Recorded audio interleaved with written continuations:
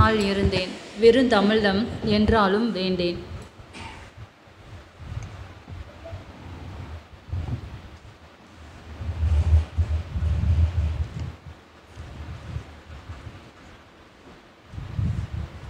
இருந்தமிழே உன்னால் இருந்தேன். வெறுந்தமிழ்தம் என்றாலும் வேண்டேன். என் தாய் தமிழுக்கு தலைவணக்கம்.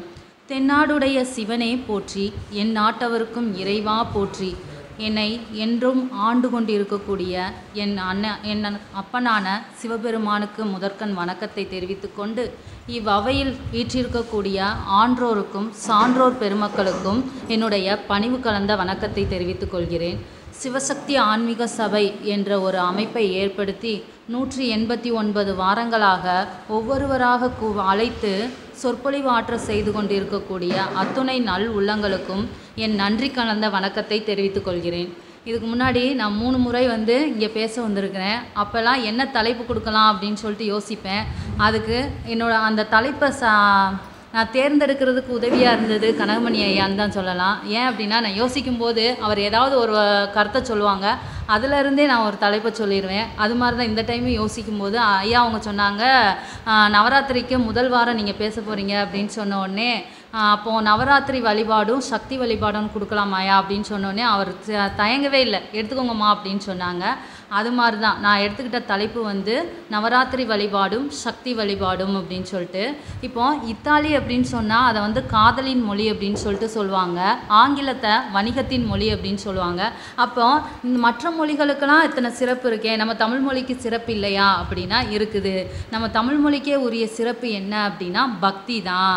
அதனால தான் தமிழை வந்து பக்தியின் மொழி அப்படின்னு சொல்லிட்டு சொல்கிறாங்க நம்ம முன்னோர்கள் வந்து ஆன்மீகத்தில் ஊறி திளைத்தவர்களாக இருந்திருக்கிறாங்க. அதனால தான் தமிழை வந்து பக்தியின் மொழி அப்படின்னு சொல்லிட்டு சொல்கிறோம் இந்த பக்தி அப்படிங்கிறது எப்படி இருக்கணும் அப்படின்னு பார்த்தோம்னா அதாவது நம்ம இறைவனை போய் வழிபாடு செய்கிறோம் அப்படின்னா அந்த இறைவனுடைய வழிபாடு அப்படிங்கிறது உண்மையாகவும் நேர்த்தியாகவும் இருக்கணும்.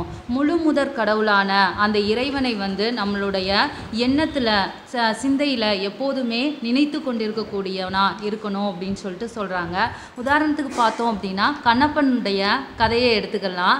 கண்ணப்பனுடைய வழிபாடு அப்படின்னு சொல்லிட்டு பார்த்தோம்னா வெறும் ஆறே ஆறு நாள் தான். அதாவது அவருடைய அந்த பக்தி அப்படிங்கிறது ரொம்ப குறுகிய காலம் தான் அவரை அந்த ஆறு நாளும் எந்த ஒரு இமை பொழுது கூட அதாவது கண் இமைக்கிற பொழுது கூட மற்ற சிந்தனை எதுவுமே இல்லாமல் வேட்டைக்கு போகும்போதும் சரி அங்கே இருக்க அந்த இறைவனுக்கு துணையாக இருக்கும்போதும் சரி அந்த மலையில் இருக்கக்கூடிய அந்த குடிமி தேவனினுடைய சிந்தனையாகவே இருப்பார்.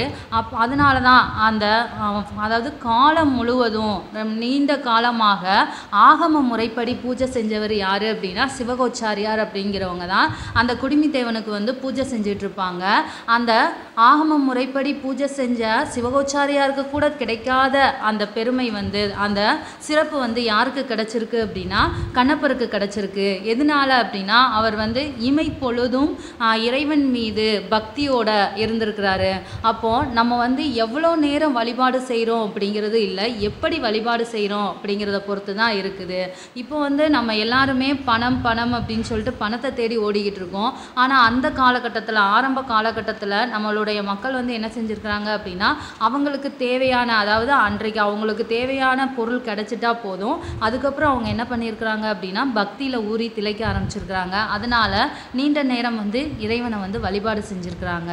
ஆனால் இப்போ வந்து நம்மளோட காலகட்டம் வந்து மாறிடுச்சு. அதனால் பணமும் அதாவது செல்வமும் நமக்கு தேவையாக இருக்குது அதனால் கொஞ்ச நேரம் மட்டும்தான் இறைவனை வந்து வழிபாடு செய்கிறோம் அது அது போல் அதாவது அந்த கண்ணப்பனுக்கு வந்து எப்படி குறுகிய காலத்தில் சிவனோட அருள் கிடச்சிச்சோ அதே போல் நம்மளுக்கும் வந்து அந்த சிவனுடைய அருளும் எல்லா வல்ல இறைவனினுடைய அருளும் சக்தியினுடைய அருளும் கிடைக்கணும் அப்படின்னு சொல்லிட்டு என்னுடைய உரையை தொடங்குகிறேன் அதாவது நம்ம சொல்லுவோம் இந்த நவராத்திரி வழிபாடு அப்படிங்கிறது எப்படி தொடங்குச்சு? நம்மளுடைய பாரத பூமி அப்படிங்கிறது பெண்மையை போற்றும் விதமாக அமைஞ்சிருக்கு. அதனால தான் அன்னையும் பிதாவும் முன்னறி தெய்வம் அப்படின்னு சொல்லிட்டு வச்சாங்க. அதாவது அன்னையாகிய பெண்மையை வந்து முதல்ல வைத்து போற்றியிருக்கிறாங்க. அன்னை அதாவது பெண்மைக்கே முக்கியத்துவம் கொடுத்துருக்குறாங்க. இந்த நவராத்திரி விழாவும் யாருக்கு முக்கியத்துவம் கொடுக்கறது அப்படின்னா முப்பெரும் தேவிகளான அந்த மூன்று சக்திகளுக்கு முக்கியத்துவம் முக்கியத்துவம் கொடுக்கறது தான். அது என்ன அப்படின்னா இச்சா சக்தி கிரியை சக்தி ஞான சக்தி அப்படின்னு சொல்லக்கூடிய இந்த மூன்று சக்திகளை வழிபடும் விதமாக உண உருவானது தான் இந்த நவராத்திரி வழிபாடு. இந்த நவராத்திரி அப்படிங்கிறத எப்படி பிரிக்கலாம் அப்படின்னா நவம் கூட்டல் ராத்திரி அப்படின்னு சொல்லிட்டு பிரிக்கலாம். நவம் அப்படின்னா என்ன அப்படின்னா புதுமை அடுத்து ஒன்பது அப்படிங்கிற பொருளில் வழங்கப்படுது. அது மட்டும் இல்லை ராத்திரி அப்படிங்கிறது இரவு பொழுதையும் குறிக்கக்கூடியது. அப்போ ஒவ்வொரு ராத்திரியும் புதுமையான அந்த தோற்றம் அளிக்கக்கூடிய அந்த சக்தியினுடைய வலி அந்த அருள் வந்து நமக்கு கிடைக்கணும் அப்படின்னு சொல்லிட்டு சொல்கிறாங்க இந்த நவராத்திரி விரதம் அப்படிங்கிறது எப்போ கடைபிடிக்கிறோம் அப்படின்னு பார்த்தோம்னா ஒவ்வொரு வருஷமும் அந்த புரட்டாசி மாதத்தில் சூரிய பகவான் வந்து கன்னிராசியில் சஞ்சரிக்கக்கூடிய அந்த காலகட்டம் தான் நம்ம நவராத்திரியுடைய தொடக்க காலமாக கருதப்படுது. இந்த காலம் அதாவது நம்ம செய்யக்கூடிய அந்த ஒவ்வொரு நோன்பும் எப்போ அதாவது இறைவனை நோக்கி தான் ஆரம்பிக்குது. இந்த நவராத்திரி அப்படிங்கிறது எந்த எந்த காலகட்டத்தில் இப்போ வந்து நம்ம ஒரு விஷயம் செய்கிறோம் ஒரு செயல் செய்கிறோம் அப்படின்னா எந்த ஒரு செயலும் தொடங்குறதுக்கு முன்னாடி அந்த செயல் வந்து நல்ல நேரத்தில் நல்ல நாளில் வந்து தொடங்கணும் அப்படின்னு நினைப்போம். அதே போல் அந்த நல்ல நாளை வந்து இரண்டு விதமாக பிரிக்கிறாங்க. அது என்ன அப்படின்னா தட்சணாயான காலம் உத்தராயண காலம் அப்படின்னு சொல்லிட்டு பிரிக்கிறாங்க. இந்த தட்சிணாயன காலம் அப்படிங்கிறது என்ன அப்படின்னா பகல் பொழுது அப்படின்னும் உத்தராயண காலம் அப்படிங்கிறது என்ன அப்படின்னா இரவு பொழுது அப்படின்னு சொல்லிட்டு பிரிக்கிறாங்க. அதாவது உத்தரம் அப்படின்னா வடக்கு அப்படின்னும் அயனம் அப்படின்னா பயணம் அப்படிங்கிற பொருளையும் கொள்ளலாம். அதாவது சூரியன் வந்து வடக்கு திசையில் பயணிக்கிறத குறிக்கக்கூடியது தான் இந்த உத்தராயண காலம். அது எந்த காலகட்டம் எந்த மாதம் அப்படின்னா ஒரு வருஷத்தில் ஆறு மாதங்கள் வந்து சூரியன் வந்து வடக்கு நோக்கில் பயணிக்கிறாரு. அது எப்போ தொடங்குது அப்படின்னா தை மாதத்தில் தொடங்கி ஆனி மாதத்தில் முடிவடையுது. அதுக்கப்புறம் தட்சிணாயான காலம் அப்படிங்கிறது என்ன அப்படின்னா தட்சணம் அப்படின்னாலே என்னென்னா தெற்கு அப்படின்னு சொல்லிட்டு பொருள்படுது. அப்போ அயனம் அப்படின்னாலே பயணம் அப்படின்னு சொல்லிட்டு நமக்கு தெரியும். அப்போ சூரியன் வந்து தெற்கு நோக்கி பயணிக்கக்கூடிய காலகட்டத்தை தான் தட்சணாயான காலம் அப்படின்னு சொல்லிட்டு சொல்கிறோம் அந்த தட்சணாயான காலம் அப்படிங்கிறது அடுத்த ஆறு மாதங்களான ஆடி மாதத்தில் தொடங்கி அடுத்து மார்கழி மாதத்தில் முடிவடையக்கூடியது. இந்த உத்தராயணம் தட்சிணாயனம் இந்த ரெண்டு காலங்களும் கூடியது தான் ஒரு வருஷம் அப்படின்னு நம்ம சொல்கிறோம் இந்த ஒரு ஆண்டு அப்படிங்கிறது தான் தேவர்களுக்கு வந்து ஒரு நாளாக கருதப்படுது. இதை வந்து அறிவியல் பூர்வமாகவும் உணர்த்திருக்கிறாங்க. அது என்ன அப்படின்னு பார்க்கும்போது நம்ம தேவலோகம் அப்படிங்கிறது எதை சொல்கிறோம் அப்படின்னா பூமியினுடைய அந்த வட துருவத்தில் இருக்கக்கூடிய அந்த மேரு மலையை தான் என்னன்னு சொல்கிறோம் அப்படின்னா தேவலோகம் அப்படின்னு சொல்லிட்டு அழைக்கிறோம். அப்போ இந்த உத்தராயண காலத்தில் பூமியோட வடக்கு பக்கத்தில் சூரியனை நோக்கி அந்த பூமியோட வடக்கு பக்கம் வந்து சூரியன் நோக்கி இருக்கிறதுனால அந்த இடத்துல வந்து பகல் பொழுதாக காணப்படுது. அந்த நேரத்தில் உத்தராயண காலத்தில் வந்து நீண்ட பகல் பொழுது இருக்குது. அதுக்கப்புறம் இந்த தட்சிணாயான காலத்தில் பூமியினுடைய தென் துருவம் சூரியனை நோக்கி இருக்கிறதுனால இந்த காலகட்டத்தில் அதிகமான அந்த இரவு பொழுது காணப்படுது. அதனால தான் ஆறு மாதங்கள் வந்து தேவர்களுக்கு அரை நாளாகவும் மீதி ஆறு பகல் பொழுது வந்து அவங்களுக்கு அந்த அரை நாள் பகல் பொழுதாகவும் கருதப்படுது. நமக்கு ஒரு ஆண்டு அப்படிங்கிறது தேவர்களுக்கு ஒரு நாள் போல அப்படின்னு சொல்லிட்டு கருதுகிறோம் இந்த இரவு நேரங்களில் வழிபாடு செய்யக்கூடிய வழக்கம் எங்கே இருந்து உருவாகியிருக்கு அப்படின்னு பார்த்தோம்னா நம்ம முன்னோர்கள்ட்ட இருந்தே உருவாகியிருக்கு அப்படின்னே சொல்லலாம். ஏன் அப்படின்னா பகல் முழுவதும் வேலை செய்த ஒருவர் வந்து இரவு நேரங்களில் ஓய்வெடுக்கக்கூடிய அந்த நேரத்தில் வந்து என்ன பண்ணியிருக்கிறாங்க அப்படின்னா அப்போவும் வேறு வெறுமனையாக அந்த இரவு நேரங்களை வந்து கழிக்காமல் ஒவ்வொரு நாளும் என்ன செஞ்சுருக்கிறாங்க அப்படின்னா ஒரு நாள் வந்து இறைவனை வழிபடக்கூடியதாகவும் இல்லை அப்படின்னா அந்த கோயில்களில் ஏதாவது ஒரு கலை நிகழ்ச்சிகளை ஏற்பாடு பண்ணி கலைகளை வளர்க்கக்கூடியதாகவும் அவங்களுடைய காலத்தை வந்து போக்கியிருக்கிறாங்க.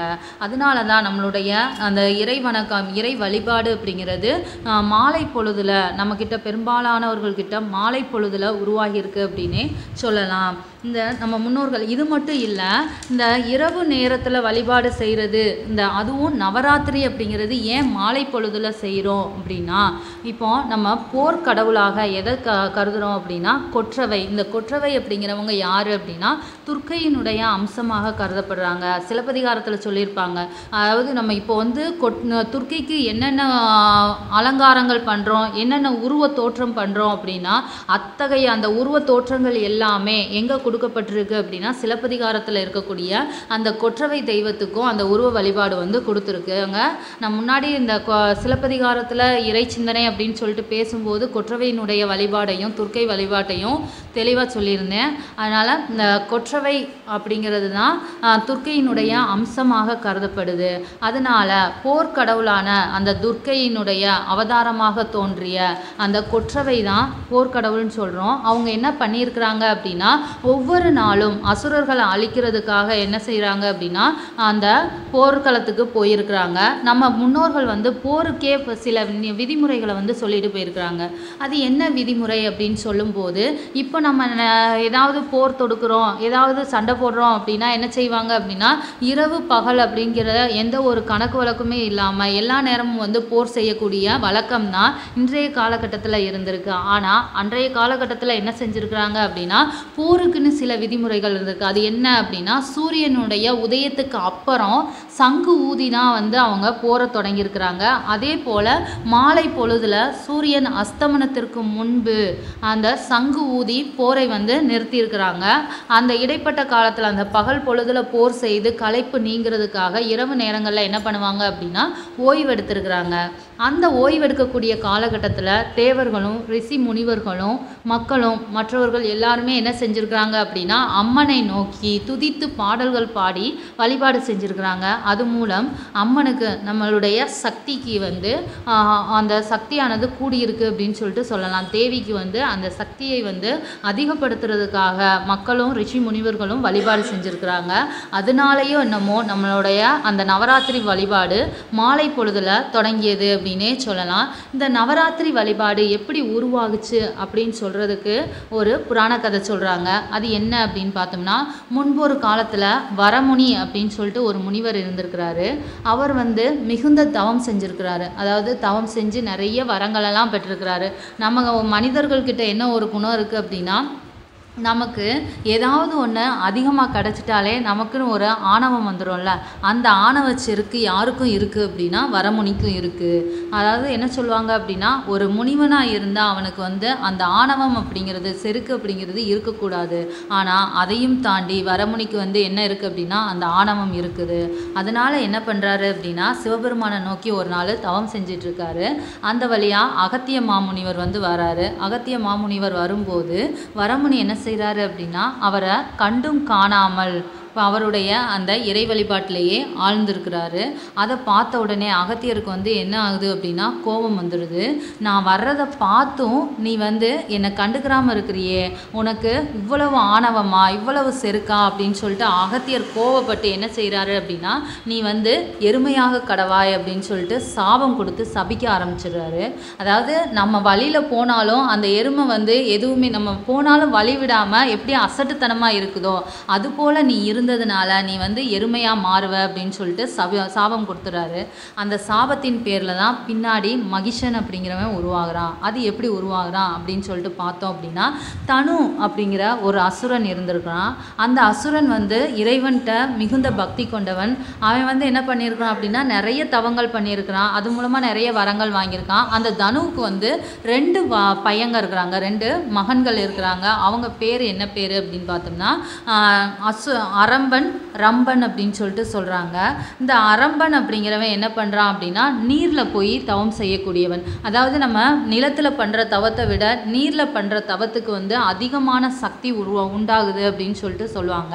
அதன் பேரில் இந்த அரம்பன் வந்து என்ன பண்ணுறான் அப்படின்னா நீருக்கு அடியில் தவம் செஞ்சுக்கிட்டு இருக்கிறான் நீருக்கு அடியில் தவம் செஞ்சதை பார்த்த உடனே யாருக்கு பயம் ஏற்படுது அப்படின்னா இந்திரனுக்கு வந்து ஒரு விதமான பயம் உருப்ப உருவாகுது.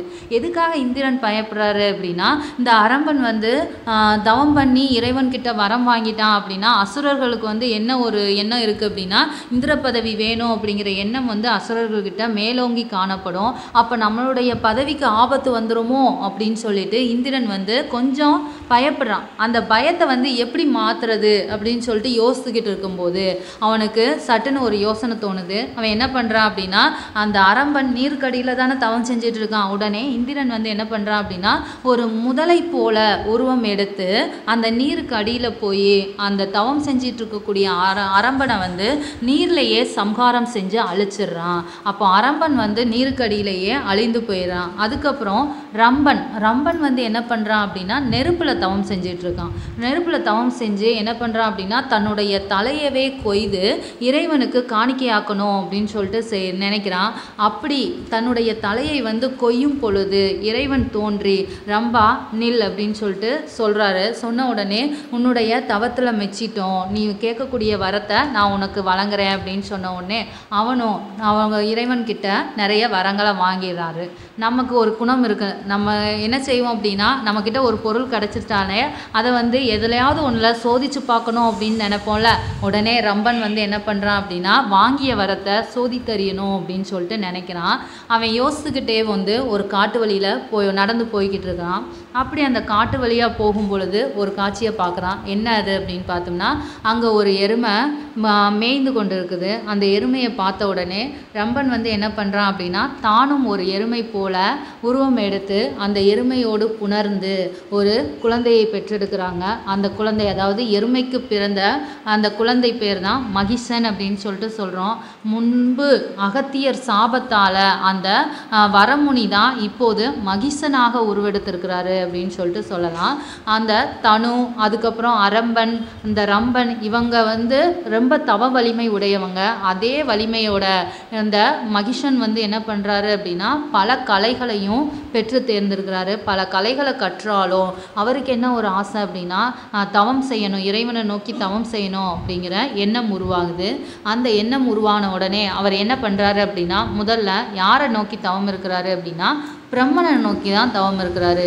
ஏன் அப்படின்னா பிரம்மனை நோக்கி தவம் இருந்தால் பிரம்மன் உடனே வரம் கொடுத்துருவாங்க அப்படின்னு சொல்லிட்டு அவருக்கு தெரியும். அதனால் என்ன பண்ணுறாங்க அப்படின்னா எல்லாருமே பிரம்மனை நோக்கி தவம் செஞ்சதுனால இந்த மகிஷனும் பிரம்மனை நோக்கி தவம் செய்கிறாரு தவம் செஞ்சு பிரம்மன் வந்து தோன்றி உனக்கு என்ன வரம் வேண்டும்? கேள் அப்படின்னு சொல்லிட்டு கேட்குறாரு உடனே அவர் வந்து என்ன சொல்கிறாரு மகிஷன் வந்து என்ன சொல்கிறான் அப்படின்னா எனக்கு சாகாம் வர வேண்டும் அப்படின்னு சொல்லிட்டு சொல்கிறாரு உடனே பிரம்மதேவன் வந்து என்ன சொல்கிறாங்க அப்படின்னா உனக்கு சாகாவரம்லாம் தர முடியாதுப்பா அப்படின்னு கேட்குறாரு ஏன் அப்படின்னு சொல்லிட்டு உடனே மகிஷன் கேட்குறான் உடனே பிரம்மதேவன் என்ன சொல்கிறாரு அப்படின்னா இந்த உலகத்தில் வந்தவர்கள் எல்லாம் தங்கிவிட்டால் வருபவர்களுக்கு இடம் எங்கே? அப்படின்னு சொல்கிறாரு அதனால் இந்த உலகத்தில் வந்தவர்கள் என்றாவது ஒரு நாள் சென்றே ஆக வேண்டும் அப்படின்னு சொல்லிட்டு அதனால் உனக்கு இந்த சாகாவரம்லாம் தர முடியாது. அதுக்கு பதிலாக நீ ஏதாவது ஒரு வரத்தை கேளுப்பா. நான் உனக்கு அதை தாரேன் அப்படின்னு சொன்ன உடனே மகிஷன் வந்து கொஞ்ச நேரம் யோசிக்கிறான்.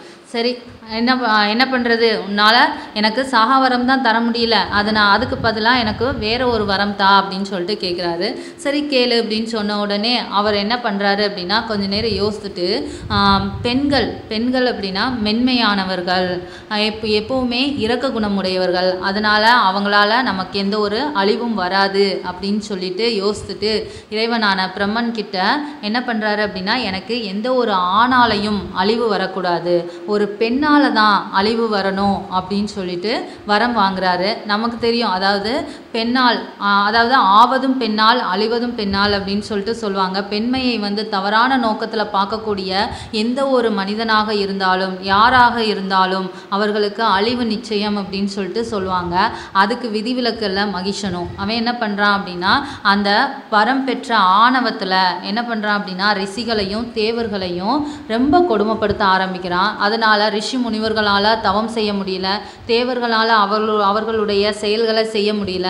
அதனால் ரொம்ப கஷ்டப்படுறாங்க. கஷ்டப்பட்டுட்டு என்ன பண்ணுறாங்க அப்படின்னா இதுக்கு என்ன வழி? சரி பிரம்மா படைப்பு கடவுளான பிரம்மன் கிட்ட போய் வழி கேட்கலாம் அப்படின்னு சொல்லிட்டு போய் கேட்குறாங்க அப்போ பிரம்மன் வந்து என்ன செய்கிறாரு அப்படின்னா அதில் இருந்து தப்பித்து கொள்ளுகிறாரு. எப்படி தப்பிக்கிறாரு அப்படின்னா வரம் கொடுத்த என்னாலேயே அவனை வந்து அழிக்க முடியாது அப்படின்னு சொல்லிட்டு தப்பிக்கிறாரு.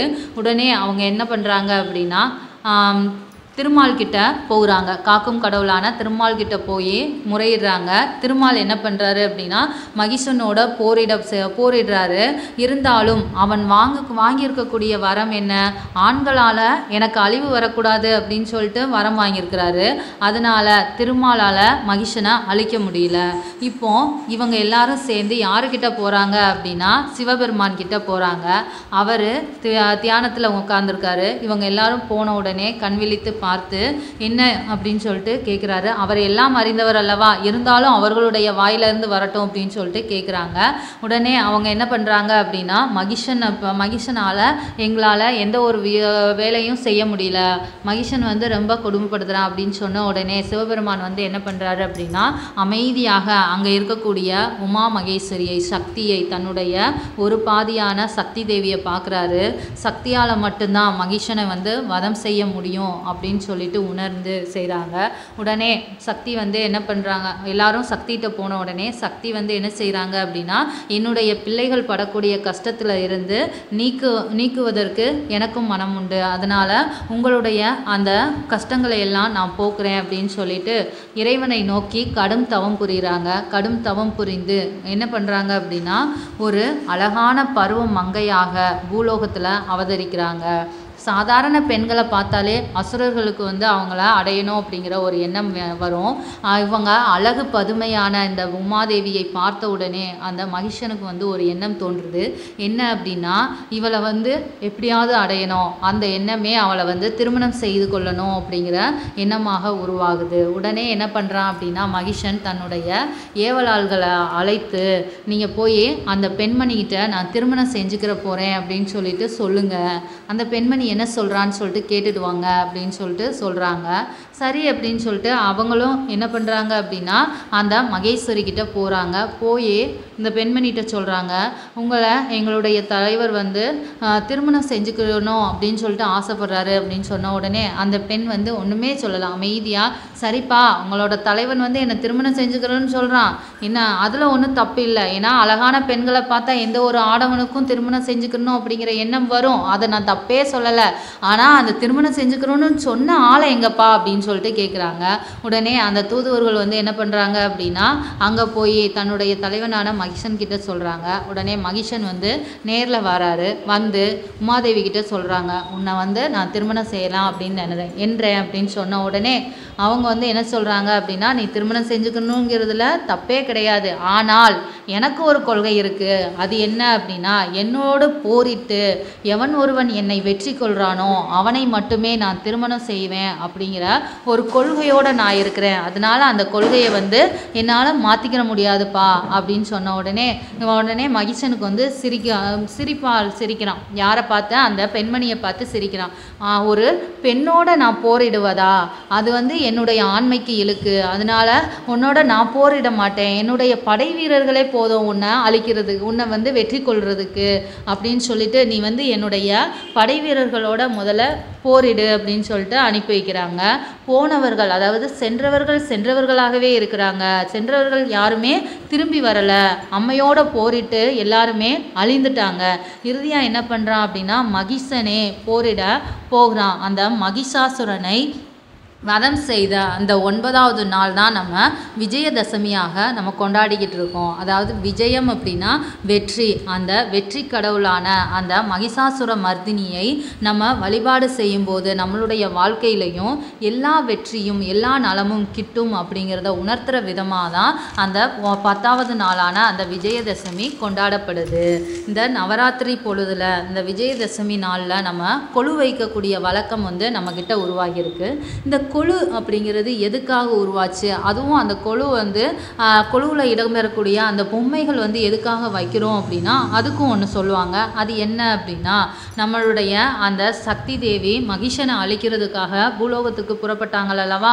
அப்படி புறப்படும் பொழுது என்ன பண்ணுறாங்க அப்படின்னா மூன்று தேவர்களையும் நோக்கி அதாவது மூன்று சக்தி படைப்பு கடவுள் காக்கும் கடவுள் அழிக்கும் கடவுள் அந்த பிரம்மன் திருமால் சிவனை நோக்கி கடும் தவம் புரிந்து தான் போகிறாங்க அப்படி கடும் தவம் புரியும் போது மூன்று தெய்வங்களும் என்ன பண்ணுறாங்க அப்படின்னா தங்களுடைய சக்தியை வந்து முழுவதுமாக திரட்டி அம்மைக்கிட்ட கொடுத்துட்டு அவங்க ஒரு சிலை போல காட்சி தர்றாங்க. அது மட்டும் இல்லை இந்திரனும் மற்ற தேவர்களும் தாங்கிட்ட இருக்கக்கூடிய அந்த க படை கருவிகளை எல்லாத்தையும் அம்மைக்கிட்ட கொடுத்துட்டு அவங்களும் ஒரு சிலை போல காட்சி தர்றாங்க. அதன் மூலமாக தான் நம்ம வந்து கொலுவில் பொம்மை அதாவது சிலை வைக்கக்கூடிய வழக்கம் வந்து நம்மக்கிட்ட தோன்றியது அப்படின்னு சொல்லிட்டு சொல்கிறோம் அந்த இந்திரன்கிட்ட வாங்கிய அந்த படை படைக்கருவிகளோட பத்து கைகளோட துர்க்கை அவதாரமாக கொற்றவை கோலம் கொண்டு தேவி வந்து பூலோகத்துக்கு வந்து மகிஷனை அளித்தாங்க அப்படின்னு சொல்லிட்டு சொல்லுவோம். இதில் நம்மளுக்கு அந்த கொலுவில் படி வைக்கக்கூடிய வழக்கம் வந்து நம்மக்கிட்ட இருக்குது. அந்த படி வைக்கக்கூடிய வழக்கம் அப்படிங்கிறது படி வந்து எப்படி வைக்கலாம் அப்படின்னா மூன்று ஐந்து ஏழு ஒன்பது அப்படிங்கிற ஒற்றைப்படையில் நம்ம படி வைத்து வழிபடலாம் அப்படின்னு சொல்லிட்டு சொல்கிறாங்க சரி படி வைச்சாச்சு. இதில் அந்த சிலை வைக்கக்கூடிய வழக்கம் வந்து எப்படி வைக்கணும்? எந்த வரி வரிசையில் வைக்கணும். அப்படின்னு பார்த்தா நம்மளுடைய தமிழ் இலக்கியத்தில் தமிழ மொ தமிழ் மொழியில் முதலில் தோன்றி அதாவது முதலில் கிடைத்த அதாவது தோன்றிய இலக்கண நூல்னா அகத்தியம் சொல்லுவோம். நமக்கு கிடைத்த முதல் இலக்கண நூல்னா தொல்காப்பியம் அப்படின்னு சொல்லிட்டு சொல்கிறோம் அந்த தொல்காப்பியத்தில் தொல்காப்பியர் வந்து இந்த உயிர்களை ஓரறிவில் இருந்து ஆறறிவு வரையா வரிசைப்படுத்தியிருக்கிறாரு. அதன் அடிப்படையில் தான் நம்மளும் இந்த படியில் ஓரறிவில் இருந்து ஆறறிவு வரையா வரிசைப்படுத்தணும் அப்படின்னு சொல்லிட்டு சொல்கிறாங்க முதல் படி படியில் ஓரறிவு உயிரான அந்த புல் பூண்டு மரம் செடி கொடி அப்படிங்கிறத வைக்கலாம். இரண்டாம் படியில் நத்தை சங்கு அப்படிங்கிற ஈரறிவு உயிர்களையும் மூன்றாம் படியில் கரையான எறும்பு அப்படிங்கிற மூவறிவு உயிர்களையும் நான்காம் படியில் வண்டு நண்டு அப்படிங்கிற நாலறிவு உயிரையும் ஐந்தாம் படியில் பறவை விலங்கு அப்படிங்கிற ஐந்தறிவு உயிரையும் வைக்கலாம். ஆறாம் படியில் என்ன அப்படின்னா நம்மளுடைய மனித வாழ்க்கை முறையை உணர்த்தக்கூடியது. மனித வாழ்க்கைக்கு அடிப்படை ஆதாரமாக இருக்கக்கூடியது திருமணம் அப்படின்னு சொல்லிட்டு சொல்கிறோம் ஏன் அப்படின்னா அந்த திருமணத்து மூலமாக தான் நம்ம குடும்ப வாழ்க்கை தொடங்குது. இந்த குடும்ப வாழ்க்கை அப்படிங்கிறது தான் இந்த மனித குலம் இன்றைக்கும் நிலைத்து இருக்கிறதுக்கு அடிப்படை ஆதாரமாக இருக்குது. அதனால அந்த ஆறாம் அந்த ஆறாம் படியில் மனித வாழ்க்கைக்கு அச்சாரமாக வழங்கக்கூடிய திருமண நிகழ்வுகளையும். அதுக்கப்புறம் நம்ம செல்வத்தோட சிறப்பாக வாழ்கிறதுக்கு வியாபாரம் அப்படிங்கிறது உறுதுணையாக இருக்குது அப்போது அந்த வியாபாரம் அந்த வியாபார நிகழ்வுகளை காட்சிப்படுத்தக்கூடிய வகையில் இந்த செட்டியார் பொம்மை வைக்கக்கூடியது வழக்கமெல்லாம் நம்மக்கிட்ட இருக்குது இது எங்கே இருக்கணும் அப்படின்னா நம்மளுடைய ஆறாம் படியில் இருக்கணும். அடுத்து ஏழாம் படி மக்களோடு மக்களாக வாழ்ந்து உயர்வான நிலைக்கு போன அந்த மகான்களையும் ஞானிகளையும் ஏ ஏழாம் படியில் வைக்கணும். அடுத்து எட்டாம் படியில் தெய்வத்தினுடைய அவதாரங்களாக கருதக்கூடிய அந்த அவரா அவதார ரூபங்களை வந்து எட்டாம் படியிலையும் ஒன்பதாவது படியில் அந்த தெய்வங்களினுடைய ரூபங்களையும் வைத்து ஒன்பது படிகளாக அமைத்து வழிபாடு செய்யக்கூடியது தான் இந்த கொழு படிக்கட்டு வழிபாடு அப்படின்னு சொல்லிட்டு சொல்கிறோம் இது போல் நம்ம பெரும்பாலும் அந்த கொலுவில் வந்து ம- மேடை அமைச்சு கலசம் வைக்கக்கூடியது நம்மக்கிட்ட வழிபாட்டு முறையில் ஒன்று. ஏதாவது ஒரு நல்ல விஷயம் செய்கிறோம் அப்படின்னா ஒரு கும்பம் வைத்து கலசம் வச்சு தானே நம்ம வழிபாடு செய்கிறோம் அதே போல் கொழு வழிபாட்டிலையும் கலசம் வைக்கக்கூடியது ஒரு வழக்கம் தான் அந்த கலசம் அப்படிங்கிறது எப்படி வைக்கலாம் அப்படின்னா புண்ணிய நீர் நிரப்பி அந்த குடத்தில் வந்து நல்ல மஞ்சள் கலந்த நூலை சுற்றி அதில் மாவிலை வைத்து அதுக்கப்புறம் அதுக்கு அந்த தேங்காயில் உள்ள அந்த கொண்டையை நீக்காமல் அந்த குடத்தின் மேல் வைத்து அதுக்கப்புறம் மணப்பலகையிட்டு அந்த மணப்பலகையில் மஞ்சள் கலந்த அந்த மஞ்சள் பூசி மாவிலை அதாவது மாவு மாவாலான பொருள் வச்சு கோலமிட்டு மா கோலமிட்டு அதுக்கு மேலே அதுக்கப்புறம் அதில் வந்து அந்த தலைவாழை இலையிட்டு அதில் பச்சரிசியை குவித்து வைத்து அதுக்கு மேலே அந்த கும்பத்தை வைத்து வழிபாடு செய்யக்கூடிய வழக்கம் தான் இந்த கும்பம் அப்படிங்கிறது பெரும்பாலும் இந்த கொடி கொழு படிக்கட்டு வந்து எந்த திசையை நோக்கி இருக்கலாம் அப்படின்னா கிழக்கு திசையை நோக்கி இருக்கிறது ரொம்ப விசேஷமானது.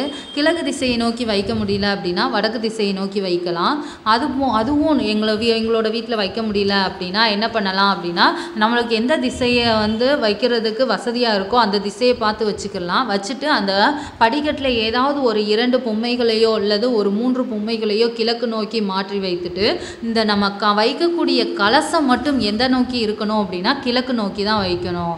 கிழக்கு நோக்கி வைத்து வழிபாடு செய்யலாம். அப்படி நம்மளால் கொழு வைத்து வழிபாடு செய்ய முடியல அப்படின்னா என்ன வ- எந்த மாதிரி வழிபாடு செய்யலாம் அப்படின்னா நம்ம சக்தியை வந்து எப்படி பார்க்குறோம் அப்படின்னா ஜோதி ரூபமாக பார்க்குறோம். அப்போ அகண்ட தீபம் வைத்து வழிபடலாம். இந்த அகண்ட தீபம் அப்படிங்கிறது எதை சொல்கிறோம் அப்படின்னா அணையா விளக்கு அப்படின்னு சொல்லிட்டு சொல்கிறோம் இன்றைக்கும் அணையாமல் எரிஞ்சிட்டு இருக்கக்கூடியது எது அப்படின்னா வள்ளலாருடைய அந்த விளக்கு அப்படின்னு சொல்லிட்டு சொல்கிறோம் அதாவது உலக மக்கள் மக்களுக்கு உணவிடணும் அப்படிங்கிற நோக்கத்தில் அந்த தீயை ஏற்றி வச்சுட்டு போனாங்க. அந்த அடுப்பை மூட்டி வச்சுட்டு போனாங்க.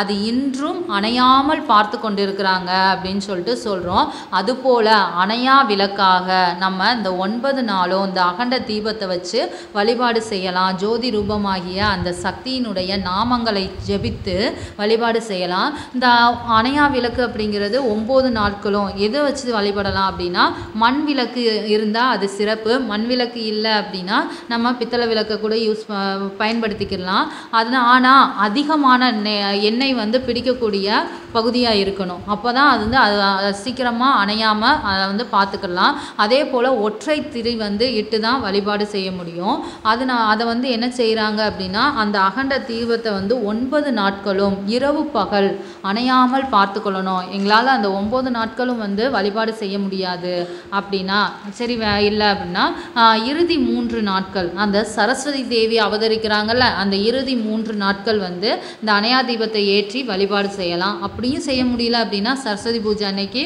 அம்மனை அம்மனுடைய அந்த உருவ படத்தை வச்சு அவங்களுக்கு தேவையான அவங்களுக்குரிய அந்த பதார்த்தங்களை வந்து நம்ம படைச்சு வழிபாடு செய்யலாம். இந்த வழிபாட்டில் வந்து குமாரி பூஜை அப்படின்னு சொல்லிட்டு சொல்கிறாங்க இந்த குமாரி பூஜை அப்படிங்கிறது என்ன அப்படின்னா கன்னிகா பூஜை அப்படின்னு சொல்லிட்டு சொல்கிறாங்க இந்த கன்னிகா பூஜை அப்படிங்கிறது கன்னி பெண்களை வைத்து வழிபடக்கூடியது. அதாவது என்ன அப்படின்னா இரண்டு வயதுக்கு மேற்பட்டு பத்து வயதுக்கு உட்பட்ட குழந்தைகள் உட்பட்ட அந்த கன்னி கன்னி பெண்களை வந்து இறைவியினுடைய அவதாரமாக நம்ம பார்க்குறோம். அப்போ ஒன்பது அந்த பெண் குழந்தைகளை வந்து இறைவனின் இறைவியோட அந்த அவதாரம் போல அவதரித்து அந்த உருவம் செ- அவங்களுக்கு வந்து அலங்காரம் பண்ணி அவங்கள வந்து வழிபாடு செய்யலாம். இப்படி வழிபாடு செய்யக்கூடிய அந்த பெண்கள் வந்து நோய் நொடி அற்றவர்களாக அழகா அழகான பெண் குழந்தைகளாக இருக்கணும் அப்படின்னு சொல்லிட்டு சொல்கிறாங்க குழந்தைகள் தானே குழந்தைகள்னாலே அழகு தானே. அதனால் நோய் நொடி அற்ற குழந்தைகளாக இருந்தால் போதும். ஏன் அப்படின்னா நம்ம இறைவனை வழிபடுறதே நம்மளுக்கு எந்த ஒரு பிணியுமே வரக்கூடாது அப்படிங்கிறதுக்காக தான். அந்த இடத்துலையும் அந்த பிணியோடு இருக்கக்கூடிய குழந்தையை வந்து வைத்து வழிபடும் பொழுது நமக்கும் அந்த பிணி வந்துருமோ அப்படிங்கிற எண்ணம் வந்து ஒவ்வொரு மனிதன்கிட்டயும் இருக்குது நம்ம எதையும் கண்டு நம்ம அஞ்சப்படக்கூடியது நம்ம மனிதர் குணம் தானே. அதனால் நீங்கள் வந்து எந்த ஒரு பயமும் எந்த ஒரு தயக்கமும் இல்லாமல் இறைவியை வந்து வழிபடணும் அப்படின்னா நோய் நொடி அற்ற குழந்தைகளை வந்து அம்மனினுடைய சொரூபமாக வைத்து வழிபாடு செய்யலாம் அப்படின்னு சொல்லிட்டு சொல்கிறாங்க இது ஒன்பது நாட்களும் வந்து வைத்து வழிபடலாம். ஒன்பது பெண்களை ஒன்பது நாட்கள் கூப்பிட்டு வழிபாடு செய்யலாம் அப்படின்னு சொல்கிறாங்க அந்த ஒன்பது நாட்களும் முடியலை அப்படின்னா ஏதாவது ஒரு நாட்கள் மட்டும் ஒன்பது பெண் குழந்தைகளை அமர வைத்து அவங்களுக்கு வந்து அம்மனினுடைய அந்த அலங்காரம் செய்து அவங்களுக்கு கையில் தாம்பூலம் கொடுத்து அவங்கள வந்து வழிபாடு செய்யலாம் அப்படின்னு சொல்லிட்டு சொல்கிறாங்க இதில் ஒரு பூஜை என்ன சொல்கிறாங்க அப்படின்னா கன்னி வாழை வெட்டுதல் அப்படின்னு சொல்லிட்டு சொல்கிறாங்க இது பெரும்பாலும் வீடுகளில் செய்கிறது கிடையாது. ஆலயங்களில் மட்டும்தான் கன்னி வா வாழை வெட்டுதல் அப்படிங்கிற ஒரு வழிபாட்டு முறையை செய்கிறாங்க அது என்ன கன்னி வாழை வெட்டுதல் அப்படின்னு சொல்லிட்டு சொன்னோம் அப்படின்னா அசுரனை அழிக்கிறதுக்காக தேவி வந்து புறப்பட்டு போகும்பொழுது பாசண்டாசுரன் அப்படிங்கிற அசுரன் வந்து என்ன பண்ணுறான் அப்படின்னா தேவியை எதிர்த்து போரிட வாரான். அப்படி அந்த பாசண்டாசுரன் வந்து போரிடும் பொழுது வன்னி மரத்தில் போய் ஒளிஞ்சுக்கிறான் தேவி வந்து எங்க அவன் வந்து போரிடும்போது நேரடியாக வராமல் அங்கங்கே போய் மறைஞ்சு சித்து வேலைகள் எல்லாம் காமிச்சிட்டு இருக்கான். தேவி வந்து என்ன பண்ணுறாங்க அப்படின்னா அவனை கண்டுபிடிக்க முடியாமல் கொஞ்சம் திகைத்து நிற்கிறாங்க அப்போ இறைவனான சிவபெருமானை நோக்கி தவம் செஞ்ச உடனே அந்த பாசண்டாசுரன் வந்து எங்கே இருக்கிறான் அப்படிங்கிறது வந்து தேவிக்கு தெரிஞ்சிருது. அவன் எங்கே இருக்கிறான் அப்படின்னா அந்த போர்க்களத்தில் இருக்கக்கூடிய வன்னி மரத்தில் போய் ஒளிஞ்சிருக்கிறான். அதை பார்த்த உடனே தேவி வந்து என்ன பண்ணுறாங்க அப்படின்னா அந்த வன்னி மரத்தை வெட்டி சூரனை வந்து பாசண்டாசுரனை வந்து சம்ஹாரம் செய்கிறாங்க அப்படி சம் சம்ஹாரம் செஞ்சதுனால தான் என்ன பண்ணுறாங்க அப்படின்னா இந்த கோவில்களில் ஆலயங்களில் வந்து அந்த வாழை வெட்டுதல் அதாவது வன்னி மரத்தோடு சேர்ந்த வாழையை கட்டி வெட்டுதல் அப்படிங்கிற வழக்கம் வந்து நம்மக்கிட்ட உருவாகியிருக்கு. அதுதான் காலப்போக்கில் கன்னி வந்து வாழை வெட்டுதல் அப்படின்னு சொல்லிட்டு மருவி வந்திருக்கிறதா சொல்கிறாங்க இந்த வழிபாடு வந்து ஆலயங்களில் மட்டும்தான் நம்ம செஞ்சுக்கிட்டு இருக்கோம். இன்னும் வீடுகளில் வந்து அந்த வழிபாட்டு முறை செய்யலை. இந்த கும்பம் வைக்கக்கூடியது அதுக்கப்புறம் வந்து குழந்தைகளை கண்ணியாக பூஜை வைக்கிறது மற்ற கொழு வைக்கக்கூடிய இந்த வழக்கமெல்லாம் நம்ம வீடுகளில் செய்யப்படுது. ஆனால் இந்த கன்னி வாழை வெட்டுதல் மட்டும் ஆலயங்களில் கடைபிடிக்கக்கூடிய ஒரு வழிமுறையாக இருக்குது. இந்த நவராத்திரி அப்படிங்கிறது ஒன்பது நாளில் வழிபடக்கூடியது. இதில் ஒவ்வொரு நாளும் ஒவ்வொரு ரூபமாக அம்மையை வந்து வழிபாடு செய்கிறோம் பேராயிரம் பரவி வானோர் ஏத்தும் பெம்மானாக விளங்கும் எம்பெருமானின் நாயகி அல்லவா அவள். அதனால் அவளுக்கு பல ரூபங்கள் பல ஞா நாமங்கள் இருக்குது. அதில் ஒரு சில நாமங்களை மட்டும்தான் நம்ம வந்து இந்த நவராத்திரி விழாவில் சொல்லிக்கிட்டு க சொல்லி கொண்டாடிக்கிட்டு இருக்கிறோம். அதில் முதல்ல எதை சொல்கிறோம் அப்படின்னா மகிஷாசுரனை அழித்த மகிஷாசுர மர்தினியான அந்த துர்க்கையினுடைய வடிவமான அந்த கொற்றவை வழிபாடு தான் முதல் விழாவான அந்த தொடக்க விழாவாக இருக்குது. ஏன் அப்படின்னா நம்ம எந்த ஒரு விஷயம் செய்கிறதுக்கு முன்னாடியும் நமக்கு என்ன இருக்கணும் அப்படின்னா தைரியம் இருக்கணும். அதனால் அந்த தைரிய லக்ஷ்மியாக விளங்கக்கூடிய அந்த கொற்றவை வழிபாடுல இருந்து தான் நம்ம தொடங்குறோம் அப்படின்னு சொல்லிட்டு சொல்கிறாங்க ஏன் அப்படின்னா ஒரு மனிதன்கிட்ட தைரியம் அப்படிங்கிறது ஒன்று இருந்தாலே அஷ்டலக்ஷ்மிகளும் நம்ம கூட இருப்பாங்க அப்படின்னு சொல்லிட்டு சொல்கிறாங்க அப்போ அந்த கொற்றவை போர்க்கடவுளான கொற்றவையை மனசில் வச்சு தான் நம்ம இந்த முதல் விழாவை தொடங்குறோம். இந்த துர்க்கை அப்படிங்கும்போது துர்க்கை அப்படிங்கிற சொல் வந்து துர்க்கம் அப்படிங்கிற வடமொழி சொல்லிருந்து உருவாகியது அப்படின்னு சொல்லிட்டு சொல்லுவாங்க. இந்த துர்க்கம் அப்படிங்கிறதுக்கு என்ன பொருள் அப்படின்னு பார்த்தோம்னா அகலி அப்படின்னு சொல்லிட்டு சொல்கிறாங்க சரி இந்த அகலி அப்படிங்கிறது எதுக்காக சொல்கிறாங்க அப்படின்னா பண்டைய காலத்தில் நான் ஒரு மன்னன் வந்து ஆட்சி செய்கிறான் அப்படின்னா அந்த ஆட்சி செய்யக்கூடிய மன்னனினுடைய நாட்டை சுற்றி அகழி அமைக்கக்கூடியது. அதுக்கப்புறம் கோயில்களை சுற்றி அகழி அமைக்கக்கூடிய வழக்கம் வந்து நம்ம தமிழர்கள்கிட்ட இருந்திருக்கு. எதுக்காக அகழி அமைக்கிறாங்க அப்படின்னா போர்க்காலங்களில் மக்களை பாதுகாக்கிறதுக்காகவும் இயற்கை சீற்றங்களில் இருந்து மக்களை பாதுகாக்கிறதுக்காகவும் ஒரு இருப்பிடமாக எதை பயன்படுத்தியிருக்கிறாங்க அப்படின்னா ஆலயங்களை பயன்படுத்தியிருக்கிறாங்க. அது மட்டும் இல்லை மன்னன் வந்து இருக்கிறான் அப்படின்னா அவனுடைய பெரும்பாலான செல்வங்களை வந்து எங்கே பதுக்கி வச்சுருக்கிறாங்க அப்படின்னா கோயிலில் உள்ள அந்த கருவறையில் இருக்கக்கூடிய தெய்வத்தின் அடிப்பகுதியில் சேமிச்சு வச்சிருக்கிறாங்க அப்படின்னு சொல்லிட்டு சொல்கிறாங்க பதுக்கி வச்சுருக்காங்கன்னு சொல்கிறாங்க அதனால தான் தஞ்சை பெரிய கோயில்லையும் இன்றைக்கும் அந்த இறைவனினுடைய அடிப்பாகத்தில் ஒரு கருவூலம் இருக்கிறதா சொல்கிறாங்க அதை சூறையாடணும்னு சொல்லிட்டு நிறைய பேர் முயற்சி பண்ணியிருக்கிறதா சொல்லியிருக்கிறாங்க. ஆனால் அது வந்து முடியாமல் திரும்பி போயிருக்கிறாங்க. ஏன் அப்படின்னா அந்த கருவூலத்தை பாதுகாப்பதே எம்பெருமானான இறைவன் சிவபெருமான் பாதுகாக்கிறதுனால அதை யாராலையும் எடுக்க முடியல அப்படிங்கிறதும் செய்தி வந்து பதிவிடப்பட்டிருக்கு. இது வந்து வரலாற்றிலேயே பதிவிட்டுட்டு போயிருக்கிறாங்க. அப்போ என்ன செஞ்சிருக்கிறாங்க அப்படின்னா அந்த அகலி அப்படிங்கிறது அகன்ற நீர்பிடிப்பு பகுதி. அகன்ற ஆழமான நீர்பிடிப்பு பகுதி அப்படின்னு சொல்லிட்டு சொல்லுவாங்க. அதுக்குள்ளே என்ன பண்ணியிருப்பாங்க அப்படின்னா ஒரு முதலை நிறைய முதலைகளை போட்டு வச்சுருப்பாங்க. அந்த முதலைக்கு உணவு அப்படிங்கிறது எதுவுமே கொடுக்க மாட்டாங்க. நீண்ட நாள் நீண்ட நெடிய நாள் வந்து அந்த அகழிக்குள்ளே அந்த முதலை பசியோடு தான் கிடக்கும்.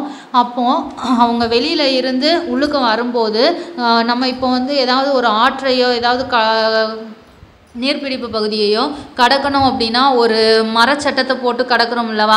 அதுபோல் பண்டைய காலத்தில் என்ன பண்ணியிருக்கிறாங்க அப்படின்னா ஒரு மரச்சட்டத்தை போட்டு அவங்க கடந்திருக்கிறாங்க. அப்படி அவங்க நாட்டுக்குள்ளே உள்ளுக்க போயிட்டாங்க அப்படின்னா அந்த மரச்சட்டத்தை வந்து தூக்கி வச்சிருவாங்க. மறுபடியும் நாட்டுக்குள்ளே இருந்து வெளியில் வரும்போது தான் அந்த மரச்சட்டத்தை அந்த பாதையை வந்து பயன்படுத்துவாங்க.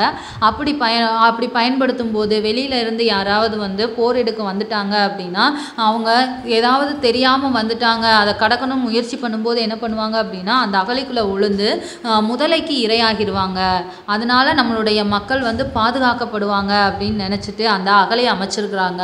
அதுபோல் அந்த அகழியை வந்து வைத்து எப்படி ஒரு மன்னன் வந்து மக்களை பாதுகாத்தானோ அதுபோல் உலக உயிர்களை இந்த துர்க்கை அம்மன் வந்து அந்த அகழி போல இருந்து பாதுகாக்கணும் அப்படிங்கிறதுக்காக துர்க்கை அப்படின்னா அகழி அப்படிங்கிற பொருள் வழங்கப்பட்டது அப்படின்னு சொல்லிட்டு சொல்கிறோம் இந்த துர்க்கையை வந்து முதல் நாள் விழாவில் வழிபாடு செய்கிறோம் இப்படி துர்க்கையை வழிபாடு செய்யும்போது என்னென்னலாம் செய்யலாம் அப்படின்னு பார்த்தோம்னா புள்ளி வைத்த கோலமிட்டு வழிபாடு செய்யலாம் அன்னைக்கு.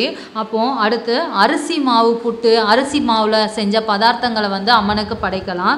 அது போக வெண்பொங்கல் சுண்டல் அதுக்கப்புறம் வந்து மல்லிகை பூ வில்வ மலர் அதுக்கப்புறம் செவ்வரளி மலர்களை வந்து அம்மனுக்கு அர்ச்சனை செய்யலாம். அம்மனுக்கே உரிய நிற ப புடவை வந்து என்ன நிறம் அப்படின்னா பச்சை நிற பட்டுடைத்து அம்மனை வந்து வழிபாடு செய்யலாம் அப்படின்னு சொல்லிட்டு சொல்கிறாங்க சரி இந்த கொற்றவையை வழிபாடு செய்யும்போது எந்த மாதிரி வழிபாடு செய்யலாம்? என்ன பாடல்களை வந்து துதிக்கலாம்? என்ன மந்திரங்களை வந்து து- துதிக்கலாம் அப்படின்னு சொல்லிட்டு யோசனை பண்ணணும்னா அதுக்கும் நமக்கு வழி இருக்குது என்ன அப்படின்னா நம்மளுடைய தமிழ் இலக்கியங்களில் ஐம்பெரும் காப்பியங்கள் அப்படின்னு சொல்லக்கூடிய காப்பியங்களில் முதன்மை காப்பியமாக திகழக்கூடிய அந்த சிலப்பதிகாரத்தில் கொற்றவையினுடைய வழிபாடை பற்றி கொற்றவையினுடைய ரூபத்தை பற்றி சொல்லியிருக்கிறாங்கல்ல அந்த கொற்றவை வழிபாட்டினுடைய அந்த பாடலையே பாராயணம் செய்து வழிபடலாம் அப்படின்னு சொல்லிட்டு சொல்கிறாங்க அது என்ன அப்படின்னு பார்த்தோம்னா வரிவலை கைவாள் ஏந்தி மாமையின் செற்று கரிய திரி கோட்டு கலைமிசை மேல் நின்றாயாள்.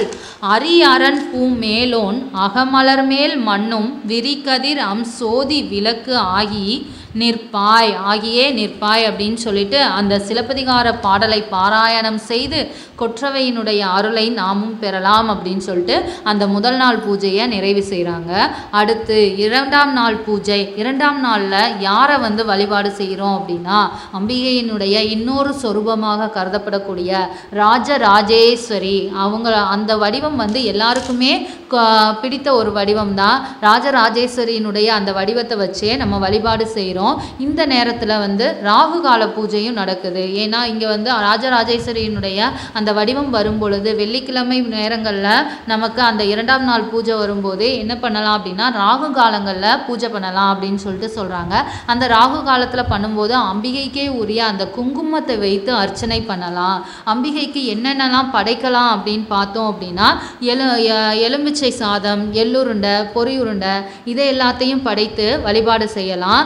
இங்கே வந்து என்ன வகையான கோலம் போடலாம் அப்படின்னா கட்டம் கட்டம் கட்டமாக போடக்கூடிய அந்த கட்ட வகை கோலங்களை போடலாம். அடுத்து முல்லை மலர் மறு மஞ்சள் நிற கொன்றை மலர் நீல நிற மலர்கள் இது எல்லாத்தையும் அம்மனுக்கு வந்து படைத்து மஞ்சள் நிற பட்டுடைத்திய அம்மனை வந்து வழிபாடு செய்யலாம். இந்த அம்மனை வழிபாடு செய்யும்போது என்ன பாடலை பாடலாம் அப்படின்னா தமிழ் மூவாயிரம் அப்படின்னு சொல்லக்கூடிய அந்த திருமந்திரத்தில் திருமூல சொல்லக்கூடிய அந்த சக்தி பேதம் அப்படிங்கிற பாடலை பாராயணம் செய்யலாம். அது என்ன அப்படின்னா தாளணி நூபுரம் செம்பட்டு தானுடை வாரணி கொங்கை மலர்கண்ணல் வாழ்வில் ஏரணி அங்குச பாசம் எழில்முடி காரணி மாமணி குண்டலக்காதிக்கே அதாவது குண்டலம் அணிந்த அந்த அம்மையை நம்மளும் வழிபாடு செய்யலாம். இந்த அம்மையை ராஜராஜேஸ்வரியை வழிபாடு செய்யும் பொழுது நம்மளுடைய வாழ்க்கை போராட்டங்களை எல்லாத்தையும் நீக்கி நமக்கு மன மகிழ்ச்சியை தருவாள் அப்படிங்கிறதுக்காக ராஜராஜேஸ்வரியினால் ராஜன் ராஜா அப்படின்னு சொல்லும்போதே மக்களினுடைய துன்பத்தை போக்கி இன்பத்தை கொடுக்கக்கூடியவன் தான் ராஜன். அப்போ ரா ராஜனே அந்த அந்த மாதிரி செய்யும்போது நம்மளுக்கெல்லாம் இறைவியாக நம்மளுக்கெல்லாம் தாயாக விளங்கக்கூடிய அந்த ராஜராஜேஸ்வரி அம்மை என்ன செய்வா அப்படின்னா நம்மளுடைய அந்த துன்பங்களை எல்லாத்தையும் போக்குவாள் அப்படிங்கிற நம்பிக்கை வந்து நம்மக்கிட்ட இருக்குது. அடுத்து மூன்றாம் நாள் விழா. மூன்றாம் நாள் விழா யாரை கொண்டாடுறோம் அப்படின்னா அந்த துர்க்கையம்மையினுடைய ஒரு வித ரூபமான வாராகி அம்மனை வந்து வழிபாடு செய்கிறோம் இந்த வாராகி அம்மன் அப்படிங்கிறவங்க வந்து விவசாய கடவுள் அப்படின்னே சொல்லலாம். ஏன் அப்படின்னா விவசாயம் செழிப்பதற்கு உறுதுணையாக இருக்கக்கூடியவங்க தான் வாராகி அம்மன். வாராகி அம்மனுடைய தோற்றத்தை பார்த்தாலே கையில் வந்து கலப்பை ஏந்தி ஒரு தோற்றமோ தோற்றத்தோடு இருப்பாங்க. அந்த கலப்பை அப்படிங்கிறது யார் பயன்படுத்தக்கூடியது? விவசாயிகள் பயன்படுத்தக்கூடியது. உலகுக்கே அன்னமிடக்கூடிய அந்த விவசாயிகளை காக்கக்கூடியவள் யார் அப்படின்னா இந்த வாராகி அம்மன். இந்த வாராகி அம்மன் வந்து சோழர் காலத்தில் வாராகி வழிபாடு செழிப்பாக இருந்துச்சு அப்படின்னு சொல்லிட்டு ச- சொல்லலாம். அந்த சோழர் காலத்தில் எதை வந்து வாராகி வழிபாடாக செஞ்சுருக்கிறாங்க அப்படின்னா ஆஷாட நவராத்திரி அப்படிங்கிறது. அதாவது ஆடிக்கும் ஆனி மாதத்துக்கும் இடைப்பட்ட காலத்தில் வரக்கூடியது தான் ஆஷாட நவராத்திரி. அந்த ஆஷாட நவராத்திரியில தான் வாராகி வழிபாடு வந்து சிறப்பாக கருதப்பட்டிருக்கு. புரச புரட்டாசி மாதத்தில் வந்து ஒன்பது கிழமைகள் வந்து நவராத்திரி கொண்டாடுறோம். ஆனால் இந்த ஆணி அந்த ஆடி ஆடி ஆணி. இந்த இடைப்பட்ட காலத்தில் ஒரே ஒரு நாள் மட்டும் வரக்கூடியது ஆஷாட நவராத்திரி. அது யாருக்கே உரிய சிறப்பு அப்படின்னா வாராகி அம்மனுக்கே உரிய சிறப்பு. அந்த காலகட்டத்தில் தான் சோழர்கள் வந்து வாராகி அம்மனை வந்து வழிபாடு செஞ்சுருக்கிறாங்க. இந்த வாராகி அம்மன் வந்து வழிபாடு செய்யணும் அப்படின்னா மலர் வகை அதாவது மலராலான கோலங்கள் இட்டு இட்டு வழிபடலாம். சம்பங்கி கருந்துளசி செண்பகம் நீல நிற மலர்கள் கோதுமையால் செய்த பதார்த்தங்கள் சர்க்கரை பொங்கல் காராமணி சுண்டல் இது எல்லாத்தையும் வச்சு வழிபாடு செய்யலாம். ஏன்னா திருமாலினுடைய அவதாரம் வாராக அவதாரம். அந்த வா திருமாலின் உடன்பிறப்பாக கருதப்படக்கூடிய இந்த சக்தியினுடைய இன்னொரு அவதாரம் தான் வாராகி அம்மன் அவதாரம் அப்படின்னு சொல்லிட்டு சொல்கிறோம் இந்த வாராகி அப்படிங்கிறவங்க எதுக்காக அப்படின்னா எதிரிகளை துவசம் செய்யக்கூடியவள். அதனால் நம்ம சுற்றி இருக்கக்கூடிய அந்த எதிரிகள் அந்த தீய தீய எண்ணங்கள் எல்லாத்தையும் அழிக்கக்கூடியவள் தான் இந்த வாராகி அம்மன். அதனால் அந்த தீய சக்திகளை வந்து ஓட வைக்கக்கூடிய அளவுக்கு வாராகிக்கு சக்தி இருக்கிறதுனால தான் நம்ம மூன்றாம் நாள் விழாவான அந்த நவராத்திரி மூன்றாம் நாள் வந்து வாராகி அம்மனை வழிபாடு செய்கிறோம் இங்கே வந்து என்ன பாடலை பாடுறோம் அப்படின்னா ஐயும் கிளியும் என்று தொண்டர் போற்ற அரிய பச்சை மெய்யும் கருணை வழிந்தோடுகின்ற விழியும்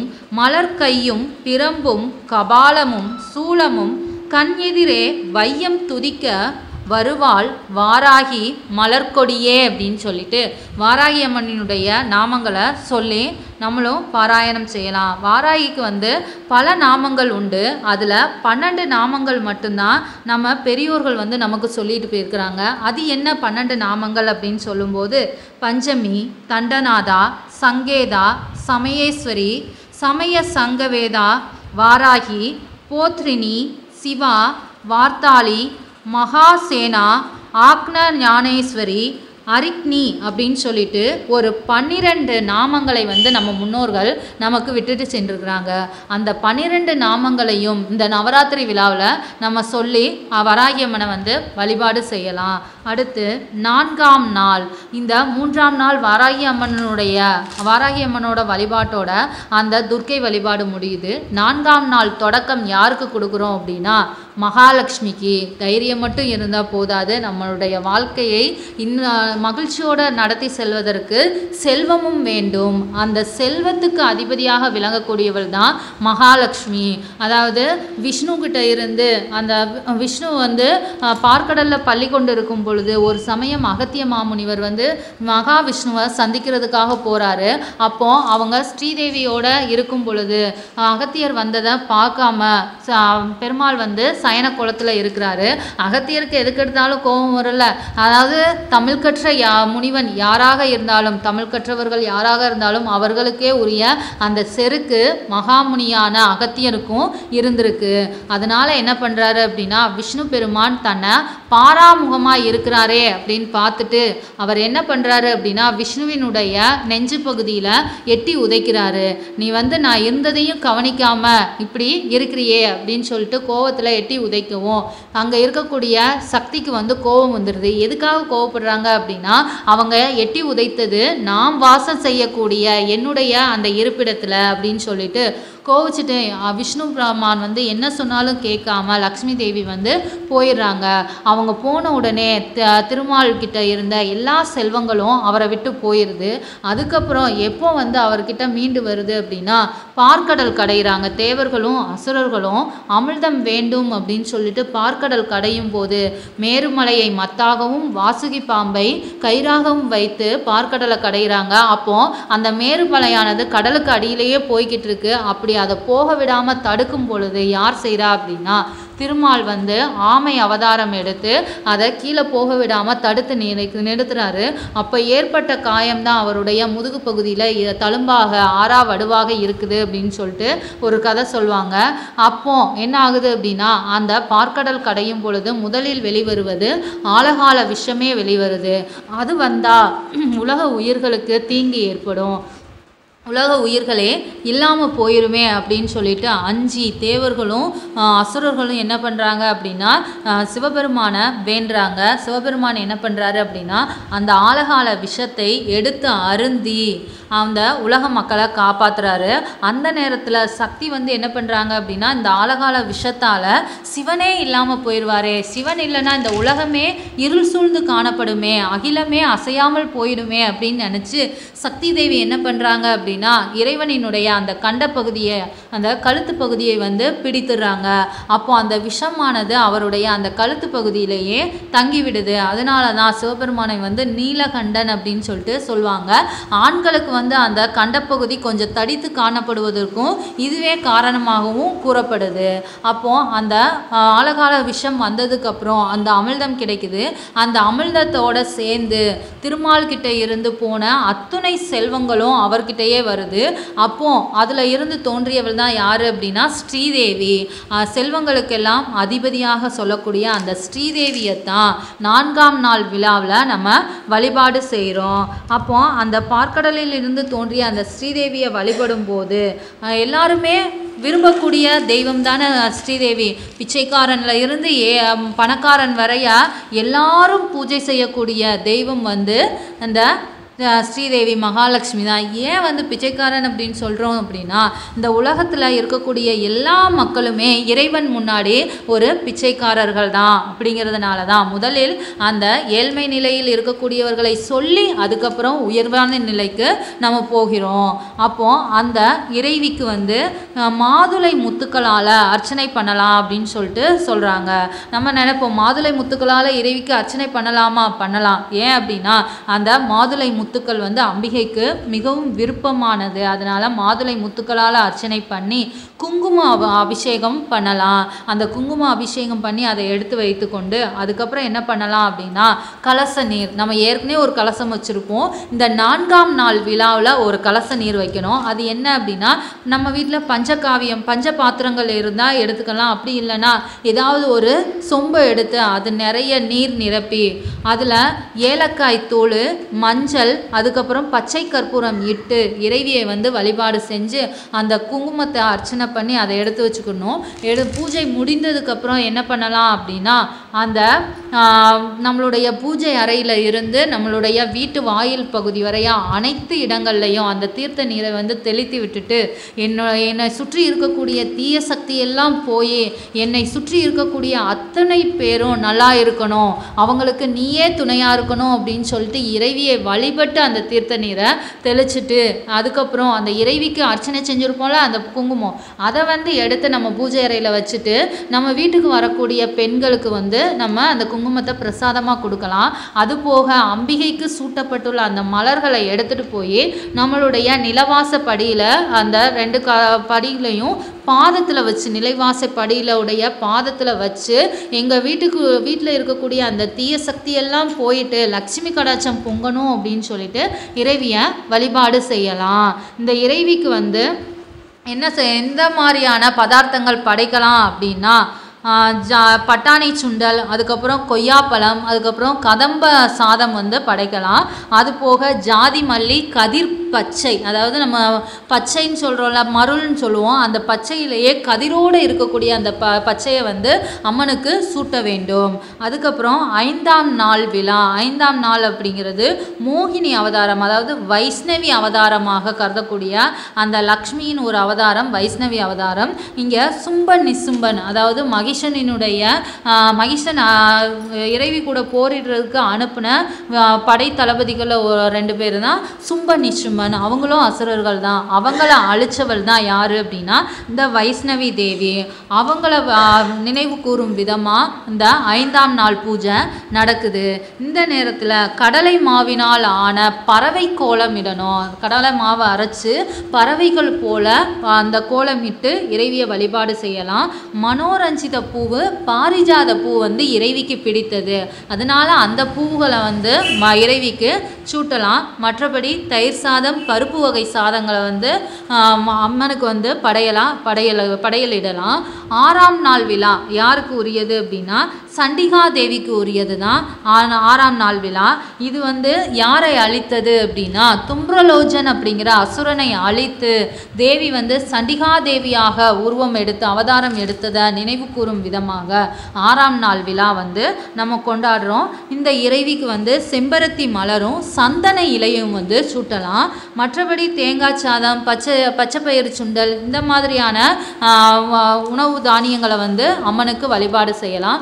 அடுத்த மூன்று நாள் ஞானத்துக்கே உரிய சரஸ்வதி தேவியை வந்து வழிபாடு செய்கிறோம் அப்போ கல்விக்கு அதிபதியான அந்த சரஸ்வதி தேவியை எங்களுக்கு எல்லா நலமும் எல்லா வளமும் பெறணும். ஏன்னா ஒரு மனிதன் எது இல்லாட்டாலும் செல்வம் இல்லாட்டாலும் வீரம் இல்லாட்டாலும் கல்வி இருந்தால் அவனால் பிழைக்க முடியும் அப்படின்னு சொல்லிட்டு சொல்கிறாங்க அப்போ கல்வியே எல்லாத்துக்கும் முழு முதலாக விளங்கக்கூடியது.